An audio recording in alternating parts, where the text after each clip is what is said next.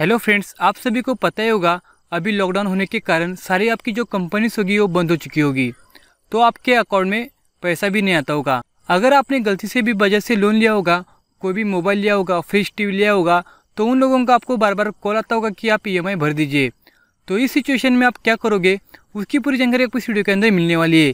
नमस्कार दोस्तों, मेरा नाम है राहुल और आप देख रहे हैं अपना हमारा चैनल तो आइए शुरू करेंगे। तो मेरा जो एक फ्रेंड था, उसने बजाज के कार्ड के ऊपर एक मोबाइल लिया था ओप्पो ए नाइन का। तो फ्रेंड्स उसको बार बार कॉल आते थे बजाज वालों के कि आप ईएमआई भर दो। उसने कहा था कि मैं अभी जो कंपनी में काम करता था, वो कंपनी भी बंद हो चुकी है। अभी मेरा जो सैलरी है वो अटक गया है। अभी लॉकडाउन होने के बाद ही वो सैलरी मुझे आ जाएगी। तभी मैं आपको बजाज का जो भी पेनल्टी सहित जितना भी आपको अमाउंट है वो भर दूँगा। फिर भी जो बजाज वाले जो रहते उन लोगों के जो पैसा वसूल करने वाले जो कस्टमर केयर वो लोग नहीं जान रहे थे। लेकिन बजाज वालों को हर रोज़ उसको कॉल आता है, दिन में चार पाँच बार कॉल आता है कि आप पेमेंट कर दीजिए। तो आप ही बताओ, बंदा कहाँ से पेमेंट भरेगा? उसने कहा कि लॉकडाउन खत्म होने के बाद मेरा कंपनी चालू हो जाएगा तो जो भी आपका बाउंस चार्जेस है, बैंक का चार्जेस है, मैं सारा ई एम एक साथ भरने वाला हूँ। फिर भी बजाज वाले उनका एक भी बात सुनने रहे और उसको फोर्स करे कि आप पेमेंट भरो, कहाँ से भी लो, उधर लो, आपके फ्रेंड से पैसा लो, लेकिन पेमेंट भरो। तो अगर आपको भी ऐसे कॉल आते होगी तो आप उनको बजाज वालों को डायरेक्टली कह दो कि, मैं अभी आपका पैसा नहीं भर सकता, क्योंकि मेरे अकाउंट में अभी कुछ भी पैसा नहीं है। जब मेरा कंपनी चालू हो जाएगा तो मैं आपका जो अमाउंट है वो, पूरा जो बैलेंस रहेगा, उसके सहित मैं आपको पूरा लौटा दूँगा।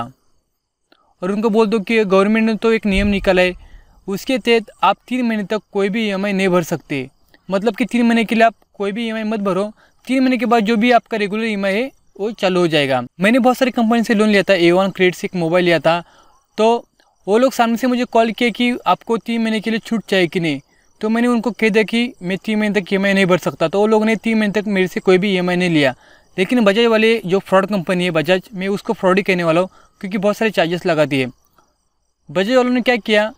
वो आपको लोगों को कॉल नहीं करेगी। उन, उनका जो वेबसाइट है official Bajaj Finserv dot in उसके अंदर जो मोरिटोरियम है मतलब ई एम तीन महीने के लिए माफ़ करने का, छूट देने का, उन्होंने वो एप्लीकेशन ऑनलाइन रख दिया। तो एप्लीकेशन का डेट था कुछ बाईस तारीख, सत्रह तारीख, ऐसा कुछ था दस बारह दिन का। उसी के अंदर जिन लोगों ने रजिस्टर किया, उन लोगों को तीन महीने के लिए बजाज का ई है, उसके ऊपर छूट मिल गई। लेकिन जो हमारे भाई लोग गाँव में रहते, जहाँ पर नेट का सुविधा नहीं है, जो लोग को यूट्यूब कुछ मालूम नहीं, उन लोग को कैसा पता चलेगा कि हमें इस फॉर्म को भरना है। तो फ्रेंड, जब भी आपको बजाज का कॉल आ जाएगा तो उनको कह दो कि अगर आपको ई लेना है तो आप लोग कॉल करते हो और जो गवर्नमेंट ने कहा थी कि तीन महीने के लिए ईएमआई छूट दो तो उसके लिए आपने, हमें कॉल क्यों नहीं किया? तो तीन महीने के लिए आपने कॉल क्यों नहीं किया? आपने कॉल करना चाहिए था कि आप तीन महीने के लिए ईएमआई मत भरो, उसके लिए आप ऑनलाइन जाकर फॉर्म भरो तो आप लोग भर देते। लेकिन बजाज वालों ने आपको कोई भी नहीं सुना। जो भी फॉर्म था वो ऑनलाइन अपलोड कर दिया। जो लोगों, जो शहर के लोग हैं मतलब सिटी में रहते वो लोग ने वो फॉर्म तो भर दिया जो पढ़े लिखे लोग हैं, लेकिन जो मेरे सब्सक्राइबर से लोग, जो मेरे को फॉलो करते वो लोग बहुत सारे यूपी बिहार के लोग हैं और गाँव में रहते उनके पास नेट नहीं रहता इंटरनेट नहीं रहता, वो लोग को इतना जानकारी नहीं है तो लोग कहाँ से फॉर्म भरेंगे? तो जब भी कॉल आएगा तो उनको बोल दो कि अगर आपको पैसा लेना लेना है तो आप डायरेक्टली घर पे आ जाओ। और अभी लॉकडाउन चल रहा है तो आपके पास घर पे कोई भी बंदा नहीं आने वाला। अगर आ जाता है तो आप पुलिस कंप्लेंट भी कर सकते हैं।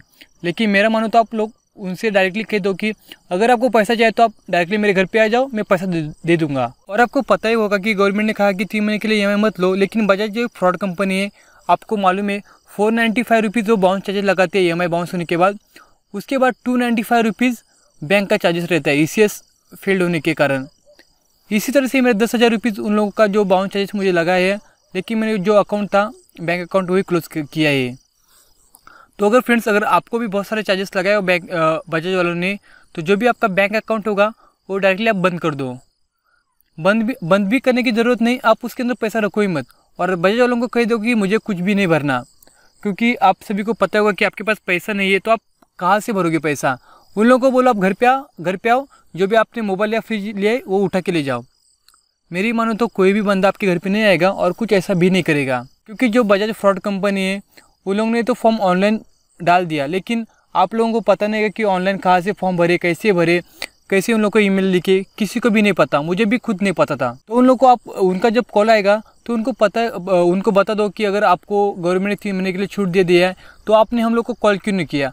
आप लोगों का जो ज़िम्मेदारी था, हमें बता दो कि तीन महीने के लिए छूट दे देने जा रही है गवर्नमेंट आप ये फॉर्म भरो फॉर्म भरो, हमें मैसेज के ज़रिए फॉर्म भेज देते, हम ऑनलाइन फॉर्म सबमिट कर देते। लेकिन बजट वालों ने ऐसा कुछ भी नहीं किया। जो पढ़े लिखे लोग थे उन लोगों ने ऑनलाइन फॉर्म भर दिया, लेकिन जैसे हम लोग गरीब लोग हैं, हम लोग के पास वो फॉर्म आया ही नहीं। और हम लोग को पता भी नहीं चलेगा, क्योंकि हम लोग गाँव में रहते हैं और कुछ इन्फॉर्मेशन ही नहीं। तो आप टेंशन मत लो फ्रेंड्स उनका कॉल आया, उनको गाली दो, कुछ भी दो। अगर वो सामने से बंदा गाली देगा तो तभी आप गाली देना। अगर वो अच्छी से बात करेगा तो आप आप भी अच्छी से बात करो। लेकिन अगर सामने वाला बंदा गाली देगा तो उसका रिकॉर्डिंग करके रखो और उसको गाली दो। मैं आपके सपोर्ट में हूँ। जो भी आपके पास रिकॉर्डिंग आ जाएगा, वो आप मुझे भेज दो। मैं आप यूट्यूब पे आपकी तरफ़ से लोड कर दूँगा। आई होप आप लोग की इन्फॉर्मेशन अच्छी लगी होगी। अगर अच्छी लगी हो तो इस वीडियो को लाइक ज़रूर करना और मेरे चैनल को सब्सक्राइब ज़रूर करना। और कोई भी बजट की रिलेटेड प्रॉब्लम होगी तो नीचे कमेंट ज़रूर करना या मुझे ईमेल लिख देना। मैं आपकी प्रॉब्लम को सॉल्व कर दूँगा। लास्ट देखने के लिए बहुत बहुत धन्यवाद। जय हिंद, वंदे मातरम।